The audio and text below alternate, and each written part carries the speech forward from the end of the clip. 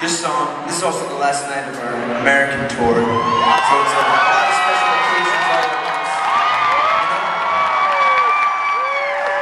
But if, uh, if inspired by anything in the current culture, you were thinking about at some point balling up your fist, putting it in the air, and kind of battling the beat. Now, at this point, now through the rest of the set, it might be a good time to